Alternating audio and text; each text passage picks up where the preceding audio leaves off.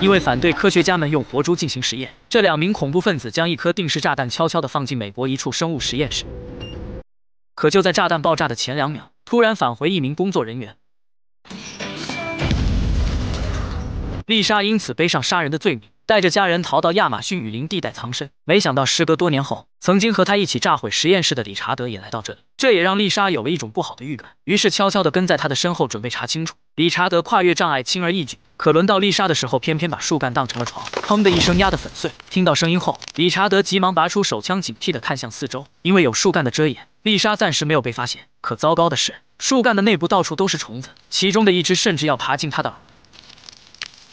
虽然身上奇痒难耐，但丽莎也不敢发出半点声音。要是被理查德发现，他就会前功尽弃。幸运的是，理查德在观察一段时间后，并没有发现什么异常，收起枪继续赶路。等丽莎跟上来，看到了令人震惊的一幕：一群武装人员直接将理查德围在了中间。通过他们的样貌，丽莎十分的确定，他们并不是社区的人。本以为理查德会有生命危险，可没想到双方只是交谈了几句。其中一个男人丢给理查德一个黑色袋子，至于里面装的是什么，还搞不清楚。交接完之后，这群人悄悄地退回了丛林。通过这件事，丽莎隐约的感觉到，理查德来到这里一定是像十年前一样，又要炸毁什么标志性建筑来抗议政府。之后将所看到的事情告诉给了尼克，说自己有了一个逃亡的计划，那就是抓住理查德的把柄，并将他出卖给美国安全局，这样一来就能换取他们一家人的完全豁免权。尼克坚决反对，说你们曾经毕竟一起共事，出卖朋友的事情他不想做。况且经历过雏鸟程序事件后，他对美国安全局失望透顶，不想和他们达成任何交易，承诺一定想出一个更好的计划，带着家人离开。此时的尼克还不知道，在理查德还没来之前，自己差点被丽莎交易出去。可如今他又将目标锁定在了理查德身上，因为比起尼克来说，理查德将更有分量。因为他是美国安全局十年来梦想抓到的目标，约瑟夫也因此官复原职。他和上司汇报说，只要抓到理查德制造恐慌的把柄，他们就实施抓捕。而这一切还要依仗丽莎给他们传消息。丽莎则是软磨硬泡得到了理查德的信任，成功的加入了他的破坏计划。之后，他带着丽莎来到一处建筑工地，不远处就是即将承建的度假酒店。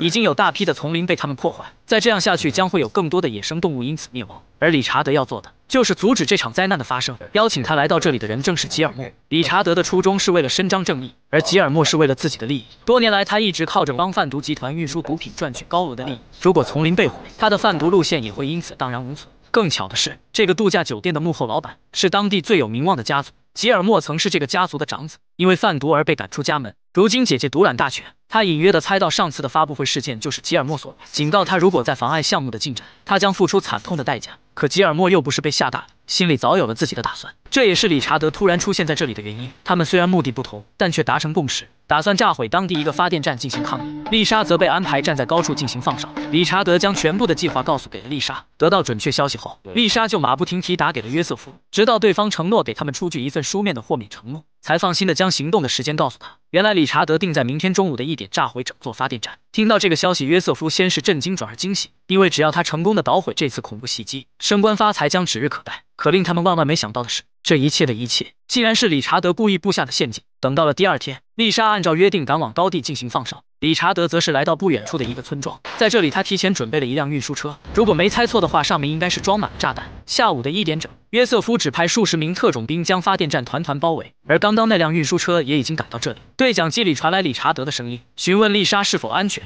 丽莎急忙回复说安全，可内心却充满了内疚，毕竟曾经的他们一起出生入死，如今却迫不得已背叛自自己的朋友。但令他万万没想到的是，就在特警控制住车辆时，上面走下来的人并不是理查德。看到这一幕，丽莎无比震惊，带着一家人逃回美国的希望再次落空。而此时的理查德就站在不远处目睹这一切，对丽莎失望到了极点。理查德这么做的目的，就是想测试一下丽莎的忠实程度，因为他们要做的事情远比炸毁一个发电站更加的凶险。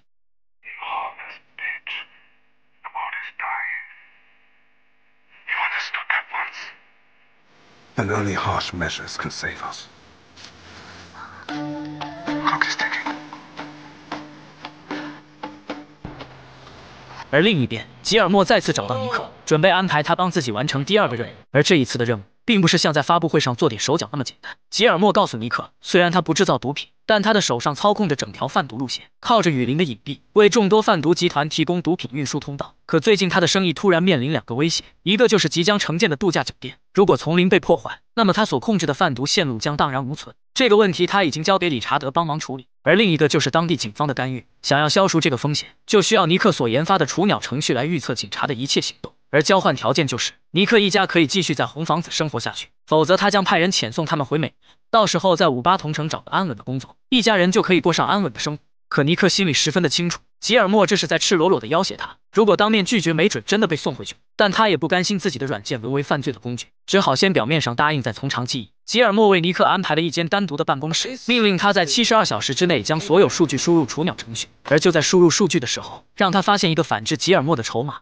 这份文件表面上看去很普通。但上面的图片吸引了尼克的注意，那是一片孤岛。于是他的心里有了一个大胆的想法，那就是建立一个新的社区，完全脱离政府和吉尔莫的掌控。但最大的困难就是该如何从吉尔莫的手上将这个岛屿夺过来。等到了第二天，尼克带着儿子查理准备前往那片孤岛查看。可在前往的路上，发现一个古怪的村庄。只见一个男人从车底取出两包毒品，这也让尼克意识到了什么。等所有人离开后，两人偷偷的跑进一间房子。查理在草堆里面发现一个桶，打开盖子，里面装着大量毒品。尼克急忙拿出手机拍下照片。而在不远处的一个角落，发现不少用来称重的设备。看到这些东西，尼克隐约的猜到，吉尔莫每次在给贩毒集团运输货物的时候，都会偷一点藏起来，等攒足了数量再卖出去。这样一来，既没有风险，又有高额的利润。但这件事要是被贩毒集团发现，吉尔莫将死的比谁都难看。利用这个发现，没准就能反制吉尔莫。可就在他准备去和吉尔莫谈判的时候，女儿艾丽竟然不见了。